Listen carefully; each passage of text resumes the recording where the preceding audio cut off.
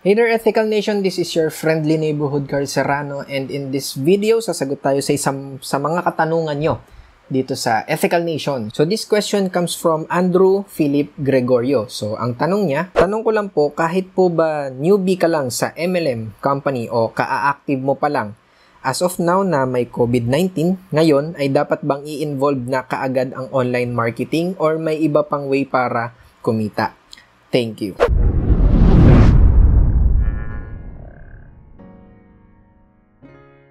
So maraming salamat sa tanong mo, Andrew. So this is a great question. As of the making of this video is December 2020. Meron pa din naman eh. May, may COVID pa din naman. Hindi na lang siya siguro kasing big deal kumpara noong nagsisimula pa lang. Pero meron pa din.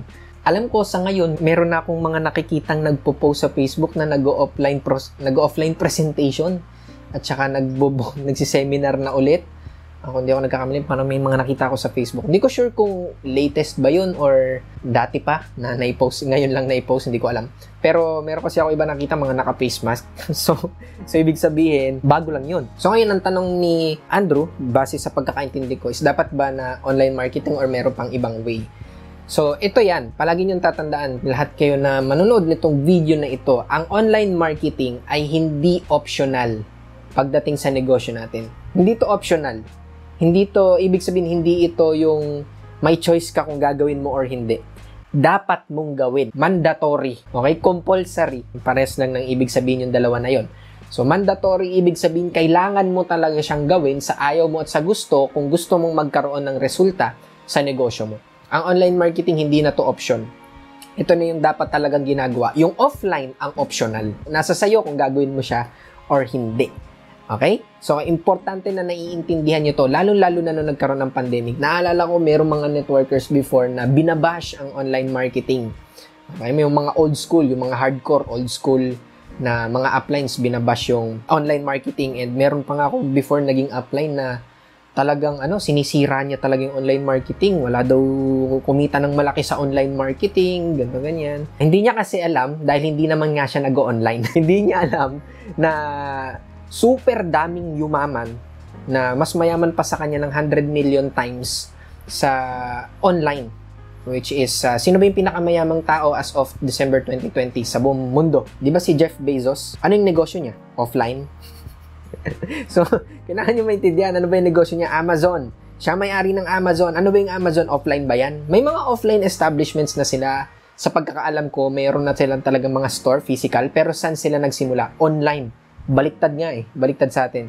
Kaya dito sa Pilipinas, huling-huli na talaga tayo sa balita. Online talaga, nasa internet. Sabi nga ni Bill Gates, which is siya yung ikalawa. Kung di ako nagkakamali, ikalawa sa pinakamayaman tao as of 2020 sa buong mundo. Sabi niya, if your business is not in the internet, then your bus- you're going out of business. Yun yung alam kong sinabi niya. So, i-search niya lang yan sa Google. Kaya, ibig sabihin lang nun, hindi na option. Kung, yun, kung ang basihan lang natin ng dapat natin pakinggan ay, di ba typical na argumento sa network marketing kung sino kumikita, siya lang yung pakikinggan, which is napakalaking kalokohan. May point siya, may point yon kasi credibility, pero napakalaking kalokohan na sa kanila lang dapat makinig. Kasi yung upline before ko na yun na, nag, na sinisiraan dati yung online marketing talagang binabash yung online marketing, yung dati kong upline na yon mayaman siya, malaki kinikita niya talaga uh, milyon na, milyon na, uh, isa siya sa mga millionaires club nung company na kinabibilangan ko before. Pero, ang gusto nila kasing mangyari dati, isa kanilang lang makikinig. Kumbaga, parang sila lang yung tama. So, which is napakalaking kalokohan yan. Kung ang basihan lang naman ang dapat pakinggan ay kung sino yung mayaman, edi mas makikinig ako doon. Number one at number two na pinakamayamang tao sa buong mundo. Ang point ko lang dito is hindi na optional ang online marketing. Yan yung dapat na ginagawa na talaga.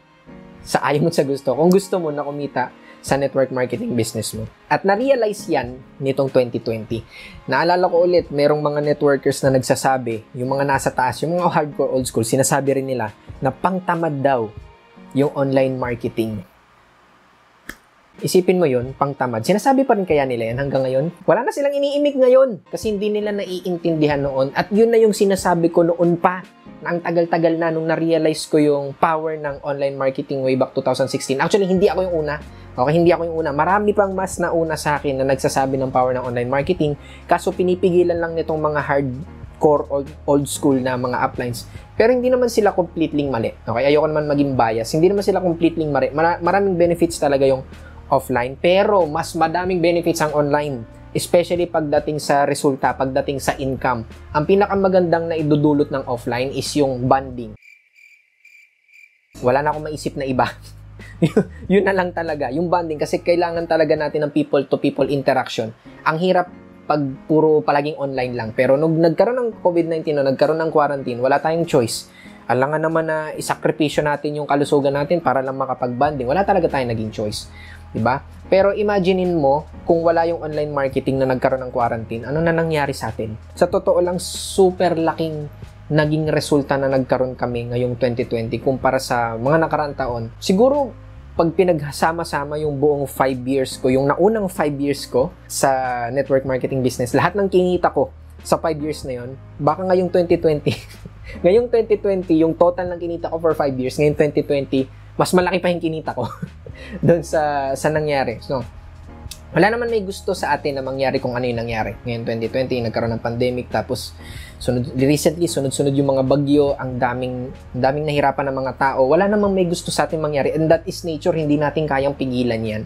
Okay, walang may gusto sa atin na mangyari yun. Pero nang dahil sa online marketing, gusto ko na yun, gusto ko maintindihan nyo yung point na yun. Nang dahil sa online marketing, yung mga gumagamit ng online marketing, nakasurvive pa din. Okay? At itong mga nakasurvive na to, yung sa mga nasa online marketing, nagagawa rin nilang tumulong sa ibang tao.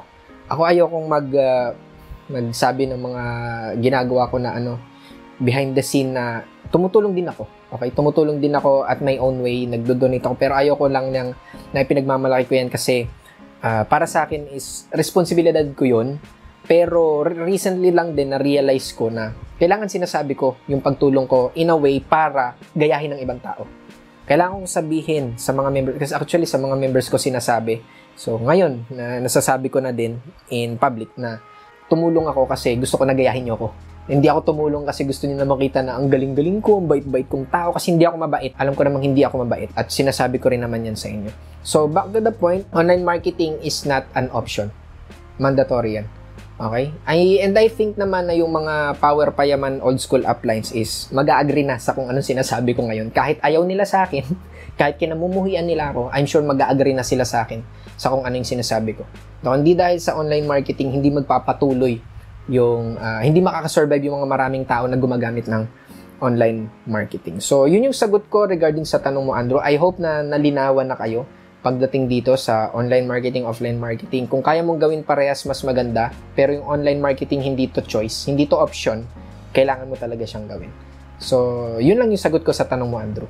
Kung meron ka rin mga katanungan para sa akin, mag-comment ka lang sa ilalim ng video na ito nung tanong mo. Lagay mo kung ano yung tanong mo. And then, lagyan mo ng hashtag itanong mo kay Serrano para alam ko na gagawan ko siya ng video in the future once na makita ko na siya. So as long as hindi ko pa nasasagutan yung tanong na yan or wala pa akong video na nagagawa regarding dyan, so sasagutan ko yung tanong na yan. Pero kung meron na akong naisagot dun sa tanong mo na katulad ng ibang tanong dati, magre-reply na lang ako dyan sa tanong mo ng nung link nung video na sagot dun sa tanong mo. By the way, meron akong ginawang ebook na alam ko na makakatulong sa'yo. Doon mo matututunan kung paano ka magkakaroon ng unlimited na prospect para sa negosyo mo. Makikita mo yung link sa description ng video na ito. Hanapin mo lang yung Unlimited Prospects Handbook or pwede ka rin pumunta sa website na ito na makikita mo sa screen para ma-access mo yung ebook na yon. So, doon ko ituturo lahat sa iyo kung paano ka makakapag-invite, tamang pag-invite, ethical na paraan, paano ka magkakaroon ng unlimited na prospect with